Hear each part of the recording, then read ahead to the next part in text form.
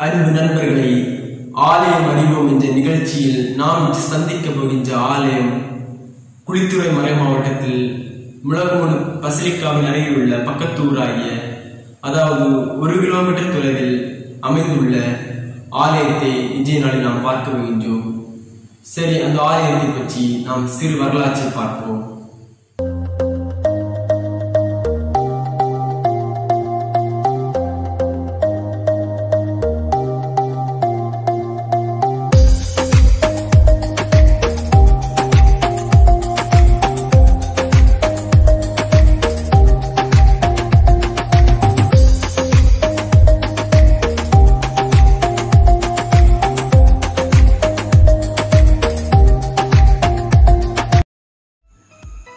இந்த ஆலயமானது முழகுமூடு திருவனந்தபுரம் செல்லும் சாலையில் இடது பக்கமாக செல்லும் சாலை அதன் பக்கத்தில் ஒரு குருசடி அமைந்துள்ளது.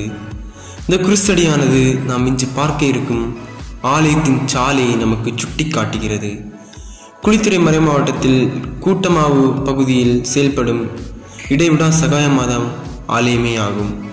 இந்த ஆலயமானது பங்குத்தளம் என்ற நிலையில் உள்ளது.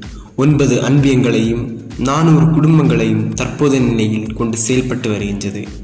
பங்கு தந்தையாக அருள்பணி ஜியோகிளிட்டஸ் அவர்கள் சிறப்பாக பணியாற்றி வருகின்றார். இந்த ஆலயத்தில் திருப்பலியானது எல்லா ஞாயிற்றுக்கிழமைகளிலும் காலை ஆறு முப்பது மணிக்கும் நடைபெறும்.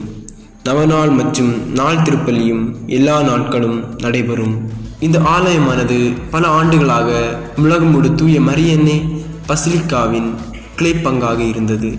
பின்னர் இரண்டாயிரத்தி ஒன்றில் தனிப்பங்காக உதயமானது. இதுவரையிலும் குளித்துறை மறை மாவட்டத்தின் ஒரு தலைசிறந்த பங்குத்தளமாக செயல்பட்டு வருகிறது.